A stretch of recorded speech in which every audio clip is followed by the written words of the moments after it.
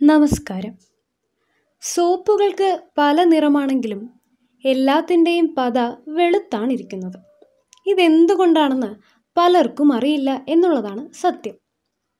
Soap പതയ്ക്ക് മാത്രമല്ല ഈ പ്രത്യേകതയുള്ളത്. കടൽ തീരത്ത് അടിഞ്ഞു കയറുന്ന പത ശ്രദ്ധിച്ചിട്ടുണ്ടോ നിങ്ങൾ?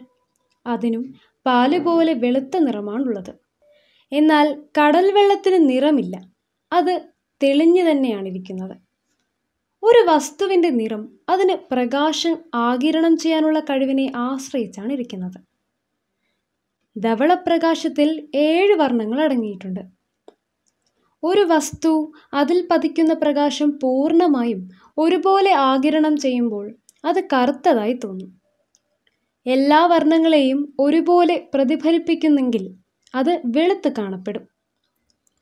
ഏതാനും നിറങ്ങളെ ആകിരണം ചെയ്ത് മറ്റു നിറങ്ങൾ മാത്രം പ്രതിഫലിപ്പിക്കുന്ന വസ്തുവിന്റെ നിറം പ്രതിഫലന രശ്മികളുടെ ഒരു സമ്മേളനം മൂലമുണ്ടാകുന്ന നിറമായിരിക്കും.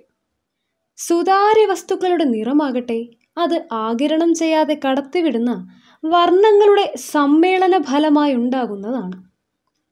എന്നാൽ സുതാര്യ പടലങ്ങളുടെ നിറം അവയുടെ കണത്തെ കൂടി ആശ്രയിച്ചാണ് ഇരിക്കുന്നത്. വളരെ കനം കുറഞ്ഞ വസ്തു ആകിരണം വളരെ കുറച്ചേ നടക്കുകയുള്ളൂ. അപ്പോൾ മറുപുറത്ത് വർണങ്ങളിലുമുള്ള പ്രകാശം എത്തുന്നു. തന്മൂലം വസ്തുവിന് നിറമില്ലാത്തതായി അനുഭവപ്പെടുകയും ചെയ്യുന്നു. അതായത് ഒരേ വസ്തു തന്നെ കൂടുതൽ കനമുള്ളപ്പോൾ കാണിക്കുന്ന നിറം കനം കുറവാണെങ്കിൽ കാണിക്കുന്നില്ല. ഒരു നേർത്ത പടലമാണെങ്കിൽ നിറമേ ഉണ്ടാകില്ല.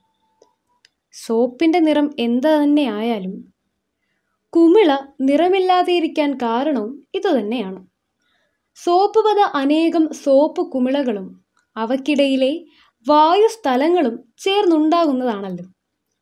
പ്രകാശം പാതയിലേക്ക് കടക്കുമ്പോൾ നിരവധി തവണ അത് പ്രതിഫലത്തിന് വിധേയമാകും. ഒരു കുമിളയുടെ പ്രതലത്തിൽ ഭാഗികമായി പ്രതിഫലിച്ച ശേഷം കടന്നുപോകുന്ന ബാക്കി പ്രകാശം അടുത്ത കുമിളയിലേക്ക് വീണ്ടും ഭാഗികമായി പ്രതിഫലിക്കുന്നു. ഇപ്രകാരം അനേകായിരം കുമിളകളിൽ നിന്ന് പ്രകാശം മുഴുവനായും ഒടുവിൽ പ്രതിഫലിക്കുന്നു. ഓരോ കുമിളയും സുതാര്യമാണെങ്കിലും അത് വെളുത്ത് കാണപ്പെടാൻ കാരണം ഇതാണ്.